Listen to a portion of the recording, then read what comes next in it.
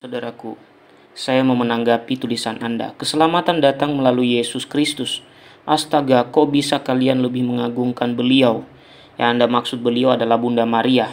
Begini saudaraku, keselamatan dari rancangan Allah itu dirancang oleh Allah sedemikian sempurna sehingga di dalam proto-evangelium yaitu kejadian 3 ayat 15 di sana sudah dinubuatkan bahwa ada seorang perempuan yang mengalahkan iblis berbanding terbalik dengan Hawa yang membuat kita jatuh ke dalam dosa. Demikian pula, dari perempuan yang taat dan takluk kepada hukum Taurat itulah nanti di mana sang penyelamat dilahirkan. Selain itu di dalam kitab para nabi, terutama Nabi Yesaya bab 7 ayat 14, dinubuatkan di sana bagaimana seorang perempuan akan melahirkan seorang anak yang akan disebut Immanuel. Kita kita melihat rangkaian rancangan keselamatan itu bagaimana Allah merancang sedemikian rupa dan dia memilih Bunda Maria dari antara begitu banyak perempuan. Lalu, ketika kita nanti masuk ke dalam Injil Lukas, Lukas 1 ayat 28, malaikat Tuhan mengatakan bahwa Bunda Maria itu full of grace, penuh rahmat.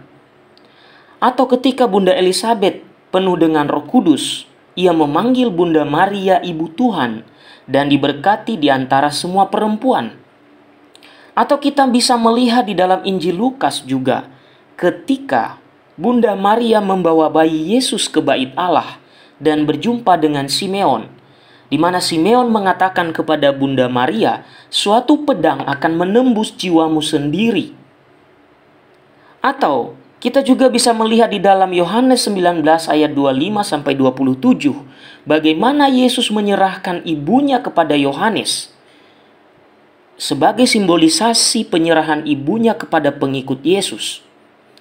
Dari seluruh karya kehidupan Yesus, Bunda Maria selalu ada di sana dan bahkan mengalami pedang yang menembus jiwanya tadi. Penghormatan kami kepada Bunda Maria tidak melebihi pujian dan sesembahan kami kepada Allah Tritunggal. Sebagaimana kami menghormati ibu kami di dunia dan kami tidak mengizinkan dihina, demikian juga ibu rohani kami adalah Bunda Maria Penghormatan kami tidak melebihi penghormatan Yesus terhadap ibunya. Maka bertobatlah Anda